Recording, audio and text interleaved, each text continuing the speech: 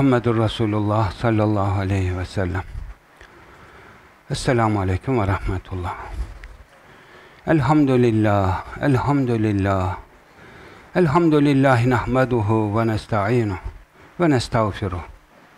Ve ne'udhu billahi min şururi enfusina ve min seyyiati a'malina. Men yehdihillah fela mudille leh ve men yudlil fela hadiye leh.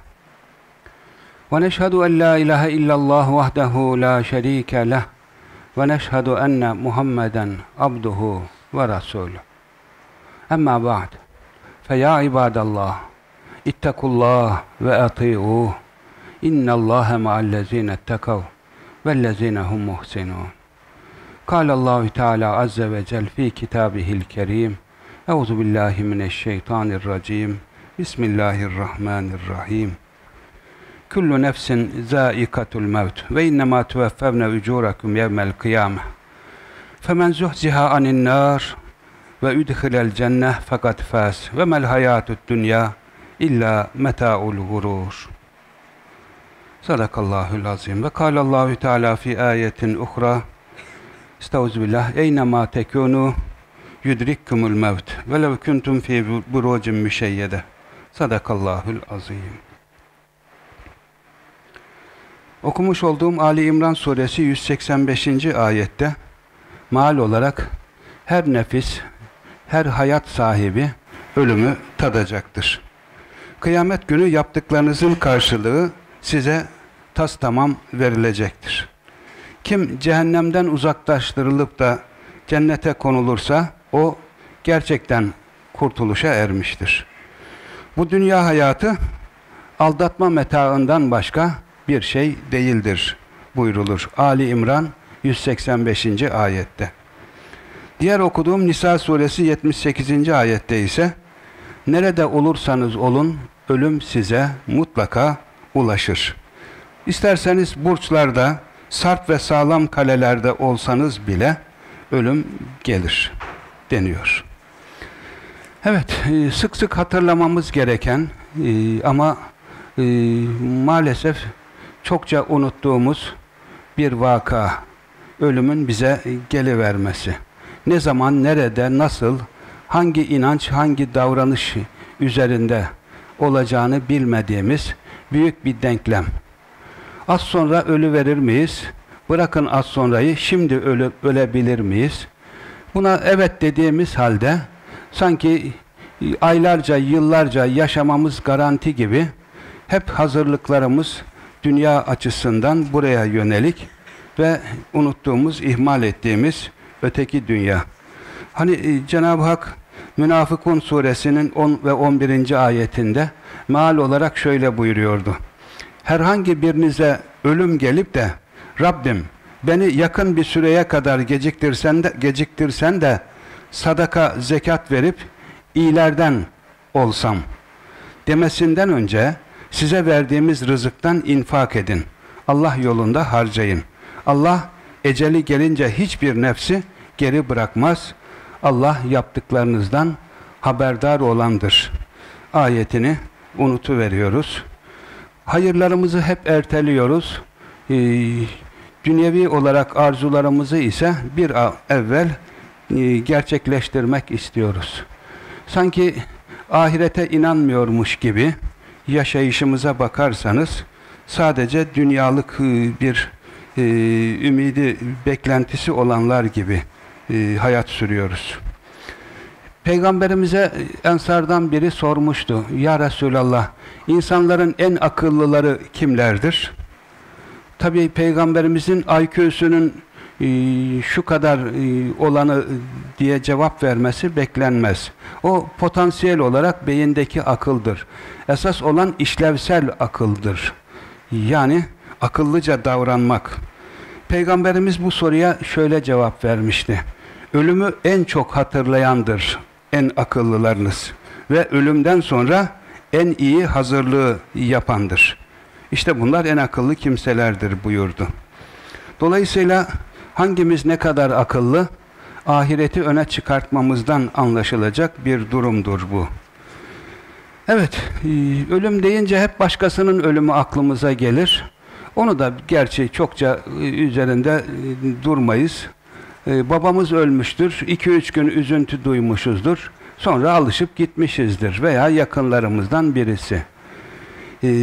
Yani ölüme hazırızdır da kendi ölümümüze değil başkalarının ölümlerini anlayışla karşılamaya e, hazırızdır. E, filmlerde e, ve benzeri e, etkinliklerde ölümü çok kötü gösterirler. Çocuklar ölümden çok korkarlar. E, yer yer hortlaklarla, vampirlerle, efendim dirilişin çok kötü olduğu imajını beyinlere sunarlar. E, zombiler vesaireler.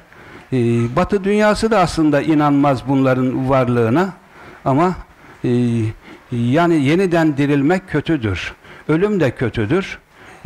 Korku filmleri hep bunun üzerine yansır ve insanlar ölümsüzlüğü ararlar.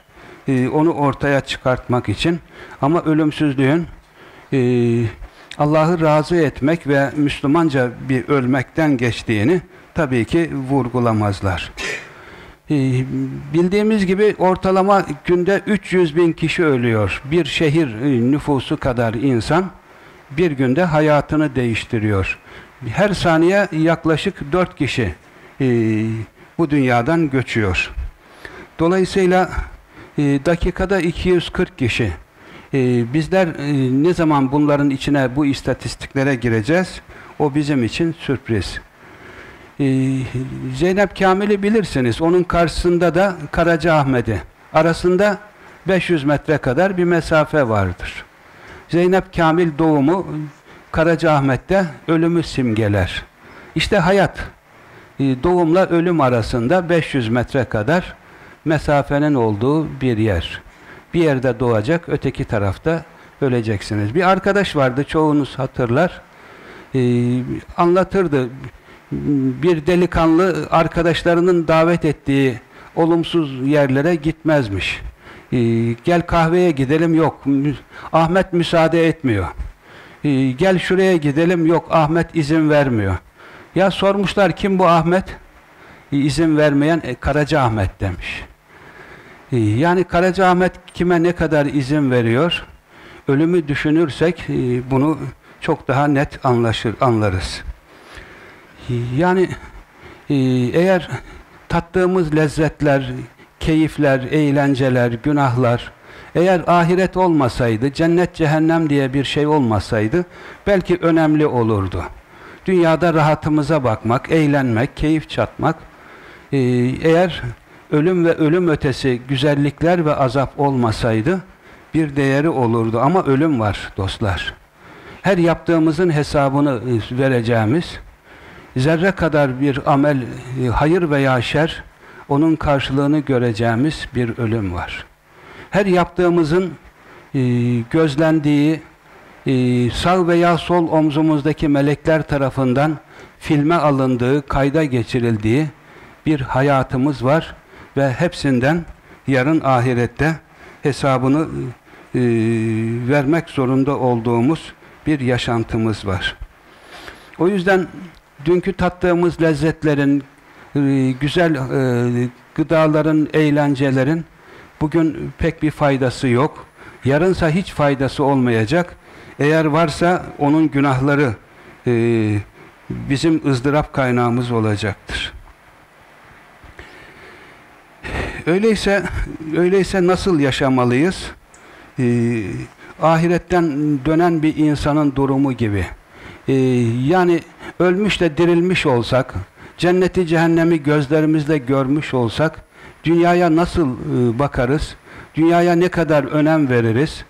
İman eden bir kimse, yakin olarak ahirete, cennete, cehenneme iman eden bir kimse, hiç şüphe duymadığı, yarınki ahirete e, dünyada nasıl hazırlanır? Dünyaya nasıl meyleder? Akıllı insan bu konuda nasıl davranır? Ona e, yönelik tefekkürlerimizin e, sık sık bizi etkilemesi lazım. Bazı insanlar e, toprak evlerine çukur kazıyorlardı, kabir görüntüsü veriyorlar. Arada ölümü hatırlamak için kabir çukuru gibi o çukura giriyorlar. Üstlerini örttürüyorlar. Karanlıkta soğuk bir toprağın içerisinde durabileceği kadar 10 dakika, yarım saat duruyorlar. Ve ölümle böyle yüz yüze e, e, olmaya kalkıyorlardı. Bizim insanımızsa mezarlığa bile gitmiyor. Şu elektriklerin, ışıkların olduğu gece vaktinde e, oradan bile korkuyor. E, ama e, hazırlık yapması söz konusu olmuyor. E, yani e, e, öldüğümüzü varsayalım. Bizim çokça önem verdiğimiz hayatımızdaki o hesaplar, planlar, programlar ne kadar faydalı olacaktır, ne kadar önemlidir. Ee, ve e, orada esas önemli olan şeyler e, ne olarak karşımıza çıkacak? E, maalesef e, günümüzde bir sürü tekno teknolojik aygıtlar, bir nevi büyükler için oyuncaklar, tabii küçükler için de aynı zamanda e, çoğunlukla ölümü unutturuyor bize. Televizyonlar, bilgisayarlar, telefonlar e, ve benzeri e, unsurlar. E, hay, dünya hayatı oyun ve eğlenceden ibarettir der. Tabi iman etmeyenler için bu böyledir. Yoksa iman edenler için dünya hayatı ahiretin bir tarlasıdır, imtihan e, salonudur. Dünyayı güzelleştirmeden ahiret güzelleştirilmez. Ama e, bu anlayıştan uzak olanlara bir oyun ve eğlence. İnnemel hayatü't dünya laibun ve lah. Evet. E, küçük çocuklar yapboz evlerle oynarlar. Büyükler de e, depremle bozulacak evlerle oynarlar. Tuğladan evlerle. Diğerleri plastik evle. E, küçük çocuklar e, saçtan, plastikten arabalarla e, e, oyun oynarlar. Büyükler de işte biraz daha büyük arabalarla. E, onlar küçük bebeklerle oynarlar. Büyükler de eh, büyük bebeklerle. Değişen bir şey yok aslında. Hayat bir oyun ve eğlence. Ama hepsi fani. Çocuğun oyuncağı ne kadar önemli?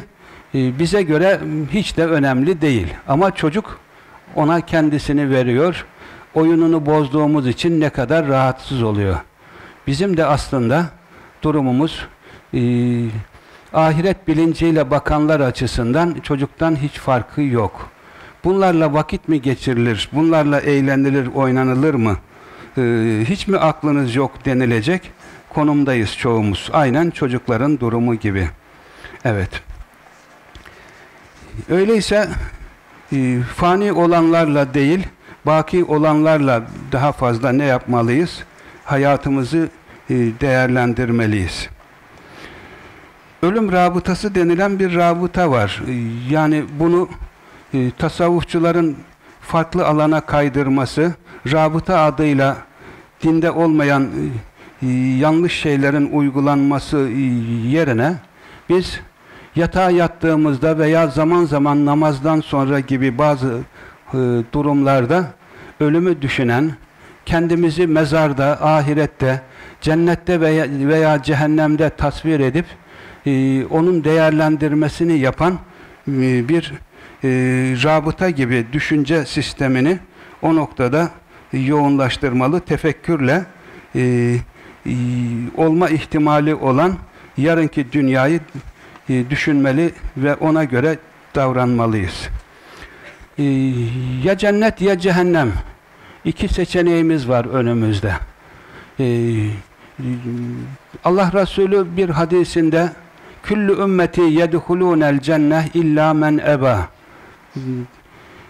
bütün ümmetim cennete gidecek ancak istemeyenler, kaçınanlar hariç buyurur. Sahabe sorar, Ya Resulallah senin ümmetinden olup da cennete gitmek istemeyen, cennetten kaçınanlar olur mu? Kim onlar? Ee, cevap verir, Men eta'ani dehalel cenneh ve men asani fakat eba. Kim bana itaat ederse e, o cennete gider. Kim de e, isyan ederse o cennete gitmek istemiyordur o kaçınıyor demektir buyurur. Bilmiyorum hangi e, Müslüman aklını da kullanarak ben cennete gitmek istemiyorum der. Bunu diliyle demez ama davranışıyla diyenlerin çok az olmadığını zannediyoruz. E, isyan eden, itaat etmeme, etmeyen insanlar için. Allah bizi cennete da, da, davet eder. Vallahu yed'u ila daris selam ve yehdi men yeşâ ila sıratın müstakim. Yunus suresi 25. Ee, bizi Darusselam'a yani cennete davet eder ve e, dost doğru bir yola kılavuzluk yapar Cenab-ı Hak. İnşallah dünya zevkleri bizi ne yapmasın? Ana vatanımız olan cennetten uzaklaştırmasın. Ee, inşallah oraya doğru hazırlanalım. Burada hepimiz azıklarımızı hazırlamaya gelen birer gurbetçi gibiyiz. Ee, cennetteki köşklerimizi buradan hazırlayacağız, buradan göndereceğiz inşallah. Ve hani bir yarışa katılmış olsak, orada e, e, büyük bir ödül e, elde etmek istesek, nasıl kendimizi veririz? Gençler üniversite sınavına ne kadar önem veriyor? Efendim bir ödül için ne yarışlara katılıyor insanlar? Dünya kupasına, olimpiyat yarışlarına. Allah bizi daha büyük bir yarışa çağırıyor. Hepimizin başarılı olacağı, olabileceği bir yarışa. Ve sari'u ila mağfiretin min rabbikum ve cennetin arduhes semavat vel ard. Rabbinizin mağfiretine ve e, genişliği yer ve gökler kadar olan cennete doğru koşun, yarışın diyor. O yarışa bizi çağırıyor. Ali İmran suresi 133. ayette. Dolayısıyla e, hepimiz böyle bir yarışın e, müsabıklarıyız ve inşallah bu yarışı e, kazanmak için büyük çapta gayretler sarf edeceğiz. E, e, bir üniversiteliden de çok daha fazla e, bizim cennet e, hak şeyimizdir, arzumuzdur. Bunu ortaya koymaya çalışacağız. Bakara suresi 214. ayetin maliyle konuma son vereyim. Ne diyordu ayet? Çoğunuz bilirsiniz. Estağfirullah. Em hasibtum en tedhulul cenne ve lemma yedhulil ve lemma ye'tikum meselul lezine halav min kablikum ila ahiril ayet. Ee, siz sizden öncekilerin başına gelen sıkıntılar, zorluklar sizin başınıza da gelmeden cennete gireceğinizi mi sanıyorsunuz? Onların başlarına öyle sıkıntılar geldi ki başlarında peygamber olduğu halde Allah'ın yardımı yok mu diyecek kadar zorluk çektiler. İşte sizin de başınıza böyle zorluklar, sınavlar, imtihanlar e, gelmeden cennete gireceğinizi mi sanıyorsunuz der Kur'an. Ee, cennetin adayları zorluklarla, meşakkatlerle, ağır imtihanlarla denenecekler. Başardıkları takdirde cennetlik olacaklardır. Bunları hepimiz biliyoruz ama uygulamada ciddi zaaflarımız var, ihmalkarlığımız var, e, unutkanlığımız var. Allah'ı unutursak Allah da bize kendimizi unutturur. E, dünyada yaşayış amacımızı unutturuz ve ot gibi yaşamaya başlarız. Rabbim hepimize e, dünyada misafir olduğumuzu, esas yerimizin e, ahiret saadeti, cenneti olduğunu unutmayan ve ona hazırlanan, e, ölüm ötesi güzelliklere kendini adapte eden insanlardan, müminlerden eylesin inşallah. Ee, sevgili kardeşler, e, iki hafta kadar bir zaman kaldı Kurban Bayramı'na. Ee, e, Rabbim e, çoğumuzun keseceği ki hepimiz inşallah isteriz ama bir kısmımız belki imkana sahip olmayacaktır. Keseceği kurbanları şimdiden kabul eylesin. Ee, daha önce de ifade edilmiş olabilir. Ee, burada da öğrencilerimize yönelik e, özellikle büyükbaş hayvan e, kurban konusunda e, programlarımız var. Kurbanı kesip e, talebelerimizle de paylaşmak isteyen kardeşlerimiz e, kalemlerin yöneticilerine müracaat edebilirler. İkinci olarak e, okulların açılmasıyla birlikte bir anaokulu açacağız inşallah. E, burada 4 ve 5 yaştaki e, öğrencilerimizin veya tanıdıklarımızın e, Müslümanca bir anaokuluna sahip olmalarını istiyorsak yine e, kalemlere müracaat edebiliriz. Evet. Rabbim ibadetlerimizi şimdiden kabul eylesin inşallah. Ela inne ahsenel kelam ve eblagan nizam. Kelamullahil melikil azizil allam. Kema kâlallahu tebâreke ve teâlâ fil kelam. Ve izâ kuri'el Kur'an festemi'u leh ve ansitu la'allekum turhamun. Euzu billahi mineşşeytanirracim. Bismillahirrahmanirrahim. İnned dîne indallâhil İslam sadakallâhul azîm.